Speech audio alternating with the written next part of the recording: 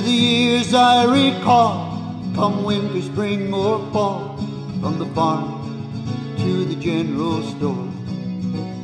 Summer days we would be seen in the meadows, field, or stream, and I never heard the word pandemic before. As a child we would read his word, it was good news that I heard, and as I grew I thirsted for more.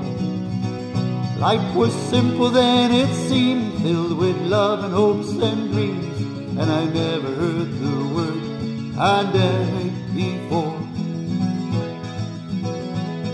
One morning I realized, looked at things with different eyes, with young men marching off to war. Very soon a lesson learned, never wanting to return. Oh, I'd never seen pandemic before. When we thought we had seen it all, pandemic began to call to the lonely days of captivity. And while the world lost reasoning, held hostage by a viral thing, the spirit's mind sought a solitude canopy. As they reflected, draw nearer whole, like leprosy as the story's told, and distance between their fellow man.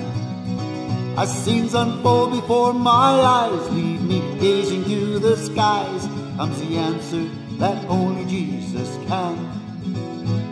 And the portrait does appear, a small world gripped with fear, and things may never be the same.